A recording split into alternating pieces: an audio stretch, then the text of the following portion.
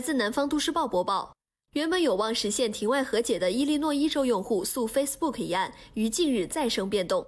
据美国媒体报道，由于和解方案中 Facebook 的赔偿金额远低于法律规定，该案法官拒绝了原告律师的和解请求。二零一零年，Facebook 推出标签建议功能，该功能利用人脸识别技术标注用户照片里出现的人。二零一五年，三位伊利诺伊州用户依据该州的生物信息隐私法将 Facebook 告上法庭。他们的诉讼后来被合并为集体诉讼。根据法律规定，Facebook 最高将面临三百五十亿美元的总罚款金额。